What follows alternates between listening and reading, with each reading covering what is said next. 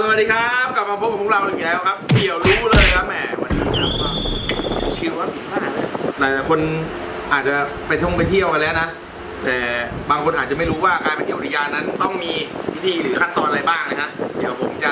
สอนให้ฟังเลยวันนี้กับแอปง่ายๆครับที่เขาบอกว่าเป็น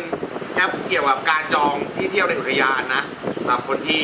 สายกลางเต็นท์หรืออยากไปท่องเที่ยวอะไรต่างๆเนี่ยเกี่ยวกับอุทยานนะเขาเรียกว่าแอป QQ นี่ให้ดูว่า ดูหน้าตาแอปก่อน นี่หน้าตามันเป็นอย่างนี้ แอป QQ นะฮะ นี่คือแอปแอปตัวนี้นะ ผมเข้าไปให้ดูปั๊บ นี่ฮะหน้าตาของแอป QQ นะครับ บอกเลยว่าสวยงามสำหรับคนที่จะเป็นท่องเที่ยวนะ หรืออะไรอย่างเงี้ย ก็มันจะมีหลายหลายหลายหลาย ๆ ที่นะนี่ครับ ที่บอกครับของเราสายอุทยานจะมีทั้งหมด 155 แห่งด้วยกันนะครับแอปนี้ไม่ได้ไม่ได้มีแค่ในส่วนของอุทยานนะก็จะมีพวกทางร้านอาหารอีเวนต์หรือธนาคารความผูมีเยอะมาก ไม่ว่าจะเป็นโรงพยาบาลตลาดนัดอะไรหรือเกี่ยวกับการบริจาคมีหมดนะฮะก็ของเราจะเกี่ยวกับการท่องเที่ยวอุทยานนะ เราเข้าไปที่ของอุทยานแห่งชาตินะครับ เปิดเข้าไป มันก็จะมีหน้าตาของอุทยานต่างๆ 155 แห่งให้เราเลือกครับนี่เยอะ แยะมากมายนไหมอ่านะเดี๋ยวผมจะยกตัวอย่างให้ดูก่อนนะครับ สมมติว่าเราจะไปเที่ยวอุทยานนะครับกับเพื่อนๆเราก็เลือกว่าเป็นอุทยานสมมติว่าเราจะไปสามลันอะง่ายๆเรากดเข้าไปที่สามลันนี่เขาก็จะมีให้เลือกครับว่าเลือกเข้าอุทยานมันไหนนะครับ มีให้ใส่เบอร์โทรติดต่อประเภทรถที่ใช้จำนวนคนที่เดินทางนะครับ แล้วก็ประเภทของผู้เดินทางแล้วก็มีให้เราใส่ชื่อนามสกุลนะครับนี่ของเราสมมติว่า เราเลือกวันก่อน มันก็จะมีให้เลือกครับว่ามีวันไหนบ้างนะครับอะสมมติว่าเราเลือกวันที่สองปึ๊บนี่เสร็จเราก็ใส่เบอร์โทรติดต่อนะครับเราใส่ไปปึ้งปึ้งปึ้งระบุระบุรถที่จะเข้าไปในส่วนของอุทยานะครับ ก็จะมีให้เลือกนะครับรถจักรยานยนต์รถจักรยานรถจักรยานยนต์นะครับรถยนต์ประเภทไม่เกิน4ล้อรถ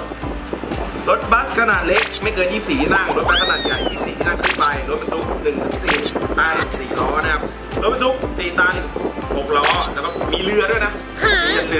ก็มีเลือกได้ด้วยเหรอเลือกได้เลือกได้เลือกได้การถูกว่าปึ๊บเราเลือกรถยนต์อ่าไม่เกิน4ล้อปึ้งแล้วนี้เราก็มาใส่ในจำนวนของผู้เดินทางผู้เดินทางครับแล้วก็มีเลือกสมมติว่าเราไปกี่คนเราก็ใส่เข้าไปครับมีเลือกนะแต่แต่ทางทางแอปก็คือจะมีสุดที่25 25ท่านสมมติว่าเราไปเพื่อน4คนเราก็ใส่จำนวนนะ4คน ต่อไปนะฮะเป็นระบุประเภทผู้เดินทางนะฮะมีเด็กกับผู้ใหญ่เราเป็นผู้ใหญ่เราก็ใส่เข้าไปปึ๊บ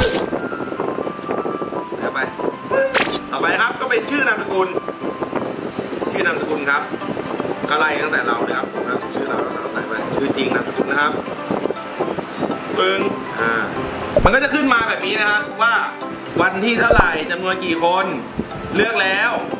ในกรณีที่เลือกแล้วนะครับคือไม่สามารถยกเลิกได้นะครับกรุณาตรวจสอบความถูกต้องก่อนการจอง แล้วกดยืนยันเข้าไปนั่นก็เป็นอันเสร็จเรียบร้อยแล้วสำหรับการจองเที่ยวเที่ยวของอุทยาน นั่นเองนะครับ แอปนี้โหลดง่ายๆครับ มีทั้งหมดทั้ง Android ทั้ง iOS ครับไปหาโหลดเอาได้ครับ ชื่อว่า QQ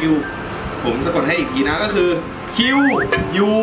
E แล้วก็ Q นะครับ QQ นั่นเองครับสำหรับคนที่ไม่รู้เนาะบางคนอาจจะไม่รู้ว่าเฮ้ยเดี๋ยวนี้แม่งพอเกิดปัญหาโควิดเงี้ยต้องจองก่อนนะ ไม่นั้นอาจจะเข้าไม่ได้หรือถ้าไปถึงนู่นแล้ว แต่แต่เอาจริงอุทยานมันก็มี walk in เข้าไปได้ แต่ว่าแค่ไม่กี่เปอร์เซ็นต์ ใช่ ก็คือเราถ้าเอาชัวร์ก็คือเอาจองผ่านแอปนี่แหละ ง่ายดีสะดวกดีแล้วก็รวดเร็วหมายถึงไปปุ๊บเฮ้ยเรา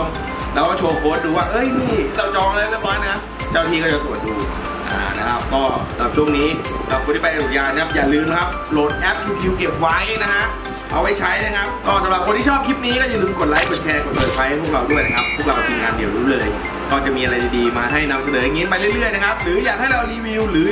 อยากให้เราอะไรนำเสนออะไรก็ติดต่อเข้ามาได้ครับเดี๋ยวเราขึ้นเบอร์โทรให้หรือใครอยากจะไปกางเต็นท์กับเรา เอออันนี้อันนี้หลายๆคนนะเอ้ยพี่ๆผมอยากไปกางเต็นท์ด้วยได้ไหมไปครับไป ติดต่อมาได้ครับติดต่อมาได้หรือทัก inbox มาทางเพจก็ได้นะฮะไปเที่ยวด้วยกันสนุกๆใช่ครับไปเที่ยวกันสนุกๆก็สำหรับวันนี้พวกเราทีมงานเดี๋ยวเลยลาไปก่อนสวัสดีครับ ครับผม